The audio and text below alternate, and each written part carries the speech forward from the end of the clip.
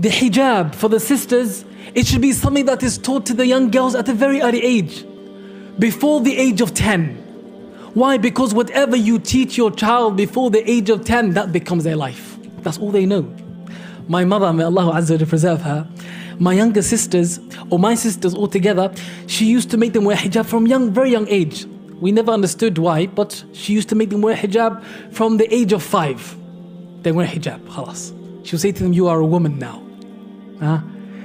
The other mothers used to say to my mother, You know, it's hot now, it's summer, you know, let them take off the, the khimar. And my mom would say, No, la, kalla. I remember my, because we were raised like that. My younger sister, when she was in year two or year one, I can't remember, one of those years. I remember when she was in school, she took off her khimar because it was hot. We kicked up the biggest fuss. She's maybe five years old or four, right?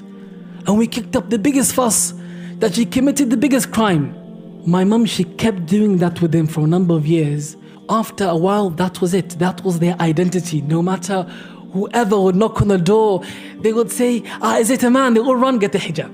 Forget about them getting to age where they take off the hijab. That was impossible. It was part of their flesh. That's the effects of tarbiyah.